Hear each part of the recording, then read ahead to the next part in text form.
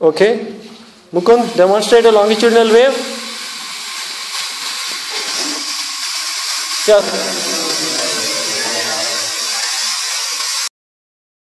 So what do you observe, Anvesh? that there are pulses from one end to another. A pulse is a single interference. A pulse is single interference Which travels from?